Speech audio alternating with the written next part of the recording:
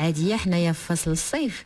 تبارك الله عزاز على آه، علينا لي glaces فغادي نشوفوا كيفاش أيضا ممكن لكل سيدة اليوم نرافقوك لالا باش نعطيوك طريقة أخرى لأنه سبق لينا قدمنا المثلجات مع لي شيف وغادي نقدموا اليوم مع الشيف مريم بركات. كيفاش تحضروا المثلجات الوصفة الأصلية؟ يعني كقاعدة بالقشده الطرية ولا crème anglaise وكذلك غادي نشوفوا كيفاش ممكن تحصلي على ال cornet ديال الباسطة بلا آلة. يعني وكيفاش داك ال cornet يكون مقرمش؟ لأنه غالبا السيدة غتقدر تصوب la glace غدير des boules ولكن انت ال cornet شوية صعيبة القضية. وهادشي اللي أنا كنخمم اللي. كيعجبني في مريم ما حتى حاجة ما كت ما كتبلوكيها كلشي كتمشي تجرب وت... خاصني الحل. صراحة جاتني الفكرة المهم حليتي. المحل في وسط الدار ياك. داكشي اللي كاين. راه عندي كل عشيه درتي الرواج في. الدار. المهم شغلتي. الوليدات دابا ما بقاوش كيقول لك ماما قنطنا ما لقينا ما نديرو. اصلي glace كل عشيه صافينا هو ال cornet أنا راه عرفت شنو هو المحفز ديالها. هو الوليدات خصها تشغلهم. داكشي اللي كاين ايوا على خير إن شاء الله. لأن هي الآلة صراحة أنا عاد عثرت على هذا العام هذا. العام اللي فات ما كانش تما فين هذه الطريقة هذه. هو العجين راه معروف نعطيه لكم بعجالة. 125 غرام ديال ال force أو الدقيق الأبيض. من الأحسن عافاكم من المقادير مضبوطة. يعني ما غن ما غنقدرش نعطي بكاس عن لا باقي بال- بالمعلقه ولا بالكاس؟ حيت 125 غرام آه. آه. شوية هذا. ناخذ مقادير مضبوطة. 125 غرام ديال الفورس 110 غرام ديال السكر. سكر سنيده سكر سنيده 125 غرام ولا مليلتر ديال الماء مغلي. الماء يكون غليان. غنخليو هذا آخر مرحلة. غنحتاجوا لواحد البيضة. و60 غرام ديال الزبده مذوبة. تعبروا 60 غرام والزبده وتذوبوها ولا من بعد حتى كتذوبوها وتعبروا 60 غرام. الزبده من الاحسن تكون حيوانية يعني ديال العبار كتاخذوا الفورس مع السكر مع البيض مع الزبدة. كتخلطوا كل شيء. كتزيدوا الماء مغلي. يعني كتكون غليان من المقراج نيجان كبيه وخلطيه مزيان. باش ما يتكورش لك الخليط وخليه على جنب.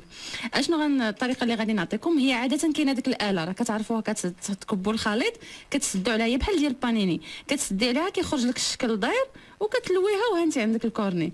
الطريقة اللي ما عندوش غنعطيكم جوج طرق. اللي عنده الآلة ديال ال panini غنعطيكم الطريقة. كتاخذوا ثلاثة د المعالق من هذه العجينة هذه كتخليوها ترتاح كتخدموا directement. هي غير ترتاح واحد شوية تبداي الخدمة. خذي الآلة ديال ال panini. كتاخدي ثلاثة المعالق من هذه العجينة هذه على حسب الحجم اللي بغيتي انت ال cornet. كتكبي الخليط اللي عنده بحال دابا قديمة الآلة ولا هذا يقدر يدهن بالزبدة باش ما تلصقش ليه. كتحطي الخليط ديالك كتسدي الآلة ديال ال panini. كيتطبع ديك الساعة ديك الخطوط افقيه ياك ديال ديال ال panini. اش كديري؟ كتحليها كدوز غير واحد تقريبا دقيقة كتحليها كتشديها كتلقايها صافي وهي راه كتكون سائلة. ملي تتكبي الخليط تما تيكون سائل بحال العجينة ديال les crêpes كتكبيها كتلقايها شدات راسها. كتقلبيها للجهة الأخرى. كتعطي الخطوط الأخرى العرضيه لأن معروف ال cornet تيكون فيه ديك الخطوط عمودية افقيه كتقلبيها كتضغطي عاوتاني. صافي كتحمر هي ديك الساعة. قبل ما تحمر نهائيا اش كندير أنا؟ تناخذ واحد القطاعة وكنقطع بسرعة بالموس كناخذ شكل دائرة. صافي كتاخدي داك ال cornet اللي عندك اللي كنخدموا به الحلوى تيكون معروف وكاينة حتى الطريقة تقدروا غير بكرتونه تشكلوه وتحصلوا على داك ال cornet باش تلويو باش تجيكم ديك اللوية هكا دايرة. صافي كتاخدوا داك إما كرتونه ولا راه كيتباعوا دابا داك الشكل ديال ال cornet كتاخدي كتلوي عليه داك العجينة هذيك غير هي مهم أنك تلويها وهي سخونة يعني غتحرقوا شويتكم ولكن خاص تكون حيت هي غير دغيا تتيبس تدوز 10 ديال الثواني 20 ثانية تتيبس صافي تتشد ال forme ديالها. يعني خاصك تلويها وهي باقا سخونة.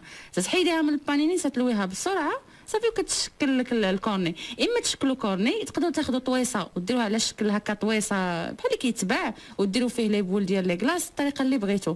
كاينة طريقة أخرى اللي ما عندوش الاله البانيني وما عندوش الآلة الأخرى؟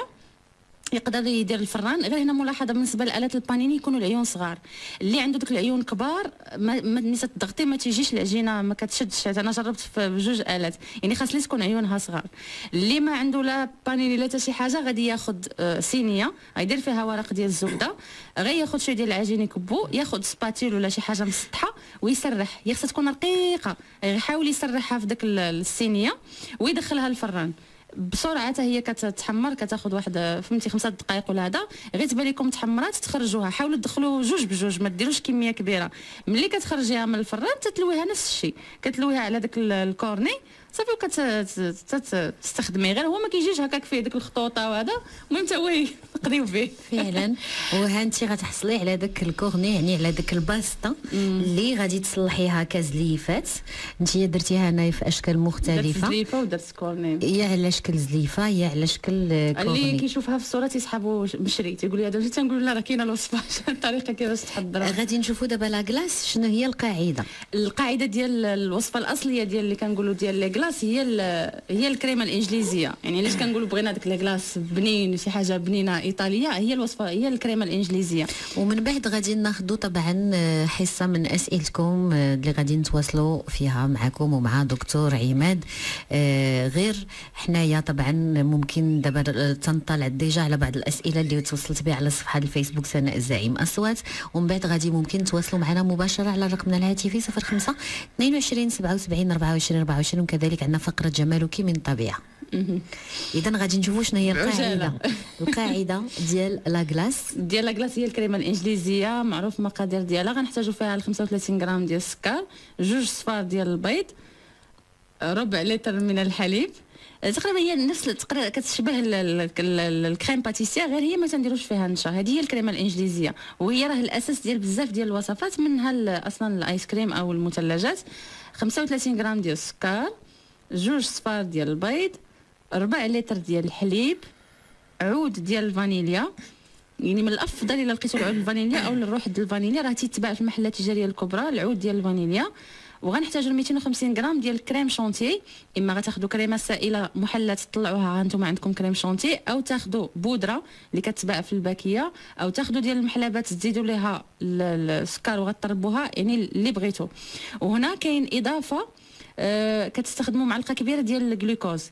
الجلوكوز كتعطي واحد القوام رائع للكلاص كريمي بواحد الطريقة عجيبة.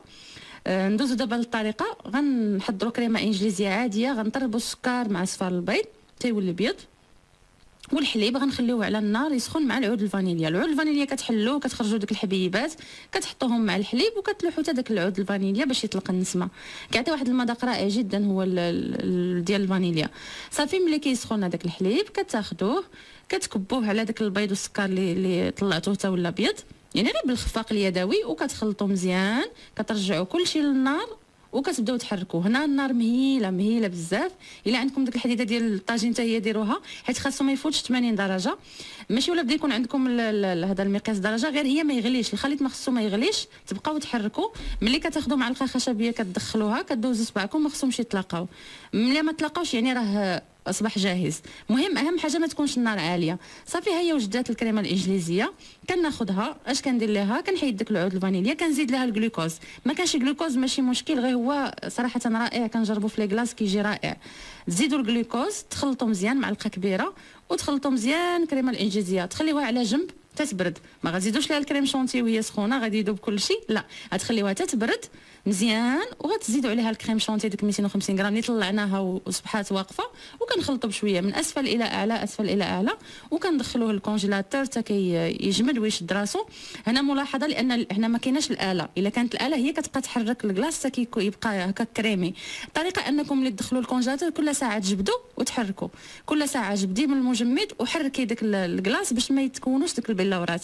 ملي تاكلي ال glace كتحسي بحال الثلج هذوك هما البلورات اللي كيتكونوا. علاش هما ملي تيصاوبوا les glaces عنده ديك الآلة هذيك اللي كتصاوب ال glace كتبقى كتحركو هو كيتجمد وهو كيتحرك. ما كيتكونوش ديك البلورات وكيجي المذاق كريمي. نتوما ما كايناش الآلة كتاخذوا معلقه وكتبقاو كتحركوا حتى كيبقى القوام ديالو كريمي وبصحة والعافية. الله يعطيك الصحة والراحة. وحنا غادي نعاودوا نحطوا طبعا الوصفات على الصفحة ديال الفيسبوك سناء زعيم أصوات.